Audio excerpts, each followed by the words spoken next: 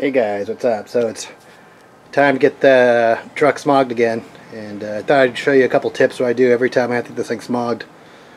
So that's actually a 2006 so I actually I purposely got that truck because that was like one of the last years before they started putting the DPF on there, the diesel particulate filter and the uh, DEF tank and all the other crazy stuff they uh, added after that year. I think it was like 2007 or 2008 is the first year they had actually all the extra smog stuff. So Alright, so I had to put my cat back on.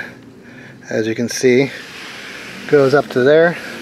So you'll definitely need to have a cat to pass smog in California.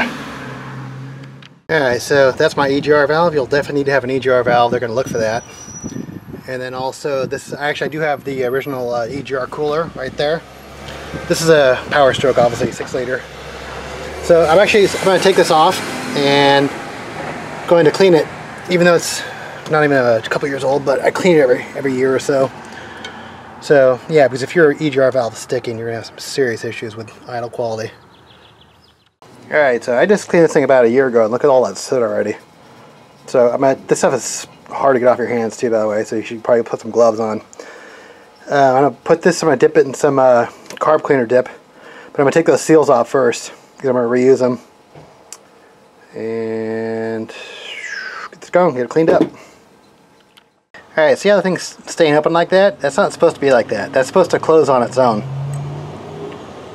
You know, that's a serious issue. So I, I definitely got a tight valve in there, so I'm going to clean all that up and make sure it actuates nice and smooth.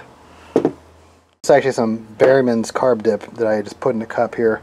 The main thing is you don't want to get past, I, I need to put some more in there, but you don't want it to get so high where it actually goes inside the sensor. Alright. Alright, there it is. It's not 100% clean, but the trick is, I don't know if I can do this with one hand, but this thing should move freely like that. See, before it was stuck open. If I did that, so that's the trick there. Alright, so also take off any tuning you have.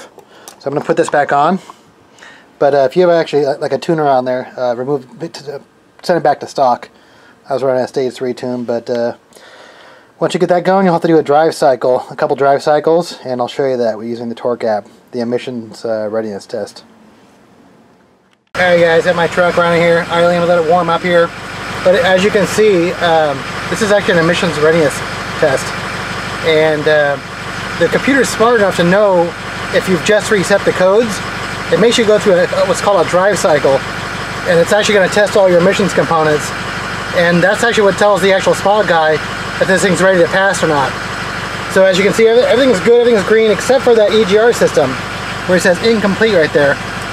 So this is actually Android uh, Torque app. I'll put a link where you can get the Elm 327 to make it run.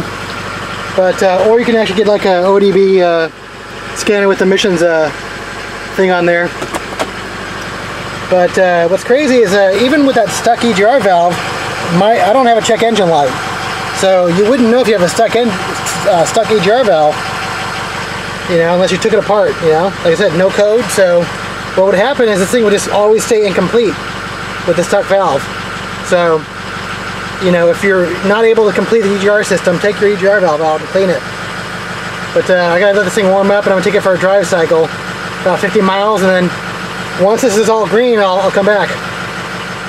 Alright guys, there it is, complete green. Took me about 42 miles, 42.8 miles. Uh, trick is to just kind of go through traffic, stop and goes, freeway, and there it is, complete. So one last thing to do and I'll be done. So don't even bother taking going to the smog shop without this. It won't pass. So has to, all this has to be complete. Alright, there's the last part. Gotta get rid of this headlights.